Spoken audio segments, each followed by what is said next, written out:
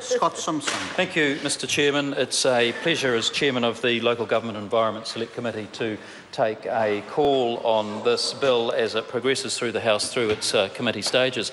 I want to acknowledge the uh, member, the local member, the Honourable Nicky Wagner, who has uh, ably supported and sponsored this bill um, under difficult circumstances in a way because I don't think any local member takes any pleasure at all in bringing to the House a piece of validating legislation. And in the uh, second reading, we heard uh, from a number of people, myself included, who were, I think, unhappy uh, about the uh, uh, prospect of us having to consider it. This is a, um, a, uh, a, quite a succinct and short, pithy bill that actually fixes irregularities that relate to payment dates for rates and the authority to impose penalties on paid rates that occurred through a mistake, albeit honest mistake made by the Christchurch uh, City Council. And um, uh, it's a, a, local bill. Uh, the irregularities, as the sponsoring member indicated, actually were victimless in terms of nobody suffered financial loss or cost. But for the council, actually, they have really just dodged a bullet. Because if, in fact, uh, any ratepayer had uh, decided to bring legal action against the council during any one of those 10 years before the error was discovered, there would have been significant potential for financial loss, uh, not only to council but to the wider rate paying group. Now, um, uh, the Christchurch City Council, sir, failed to state in their rates resolution that the rates were payable by instalments. And uh, not only that, but what the payment dates for those instalments might be. Uh, and the penalties, uh, if there were to be any, what they would, what, what, penalties might or might not be added. And so it failed to state uh, some very basic things. Uh, I hasten to add, sir, that uh, these errors occurred some 10 years or more ago, uh, several CEOs ago, and the uh, opportunity to, I guess, uh, seek retribution from the people who are responsible for ensuring that the errors didn't occur has long since passed.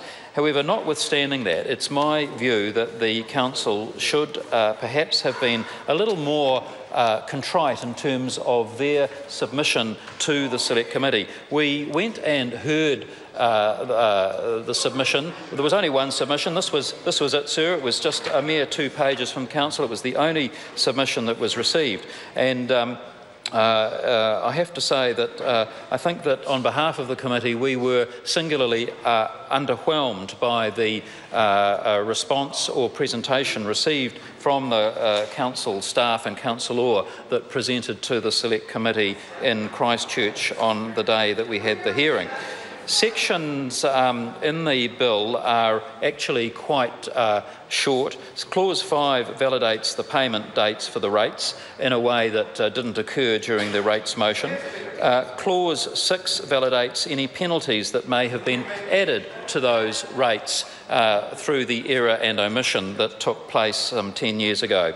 Clause 7 declares that all money received by the Council in payment of the rates and any penalties paid in respect of those rates during the period in which the error uh, was unidentified uh, uh, will in fact be validated and that there would be no potential for recovery from ratepayers who uh, may have felt that those rates had been, as they were, collected uh, constitutionally in terms of uh, legality illegally by the Christchurch City Council.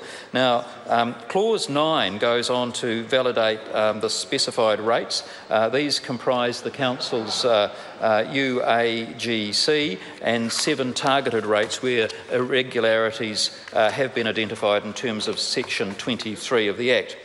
And if these resolutions were made, uh, uh, so, so the, the purpose of this bill is to validate those resolutions so that uh, the status would be that uh, the, the, previous resolutions would then be uh, uh, validated uh, from 2004-5 through to the financial year 2012-13. And so uh, I think that it's fair to say, sir, that in terms of uh, um, the impact of this era that occurred in Christchurch City, Council is very lucky to have got away as lightly as they did.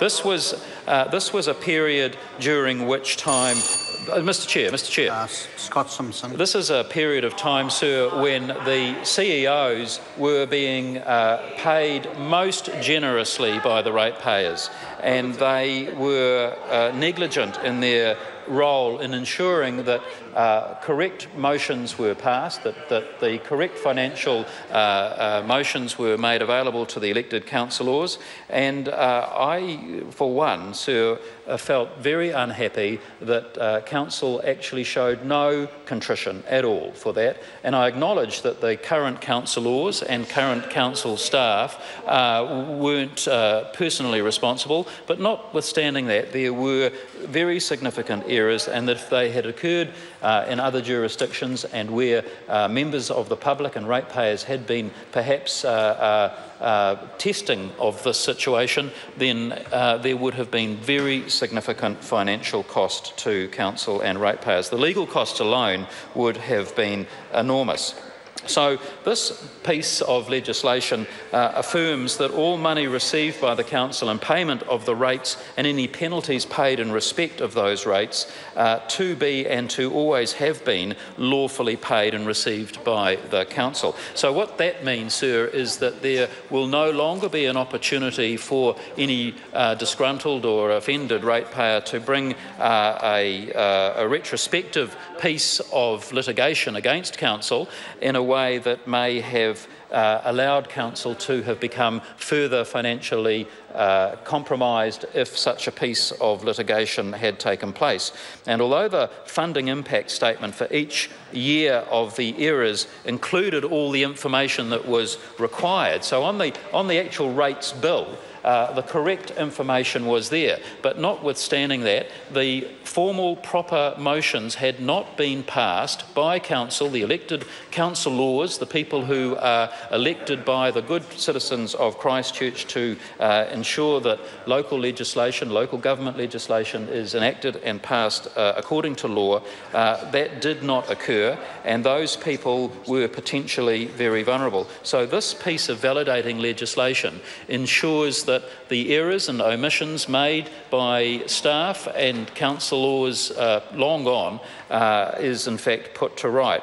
Now, as uh, other speakers have said, Mr Chairman, this House does not like to uh, consider these sorts of validating pieces of legislation. Regrettably, we are all too often put in a position where uh, errors of this sort at a local government level do occur, and then it's up to a local member uh, who has no real um, uh, uh, uh, opportunity to put right the error, has to come to the House, seek the time of the House, seek the goodwill of a select committee, and then put it to the House, and where, where time and effort is occupied at not inconsiderable cost to the taxpayer, sir, to ensure that things are put right on behalf of the uh, innocent ratepayers of Christchurch. I hasten to add, sir, that this is not a small territorial authority. Christchurch City represents one of the largest council operations in the country, and the level of expectation that rests upon them is surely that at the high end of the spectrum in terms of compliance, in terms of fulfilling their role as local body legislators, and in terms of protecting the rights and interests of the ratepayers. And so um, I'm not in any way. Um, going to discount the roles and obligations of sm smaller jurisdictions, of smaller councils, but they, uh, I think, sometimes may not have the same access to legal counsel and the same access to professional advice and uh, information that the very large councils do. Christchurch City Council is a very significant enterprise, uh, uh an enterprise that is of large size and volume and which pays its senior staff extraordinarily well in order to get things right. And on this occasion, over a period of not one year, not two years, not three years, not four, but in fact a whole decade, these errors were not spotted. These errors were not spotted by the highly paid professional staff of council, and then the council laws were not made aware of it. And uh, perhaps worse, to add insult to injury, nor uh, was the error spotted uh, by the auditors who are also charged with ensuring that these kinds of errors don't slip through the cracks.